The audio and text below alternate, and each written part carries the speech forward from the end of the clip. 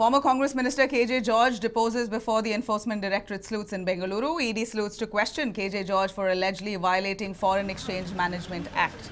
ED had also issued summons to KJ George's wife Suja, daughter Renita and son Rana. ED is probing into FEMA violations currently and charges against KJ George based on a complaint filed by Ravi Krishna Reddy.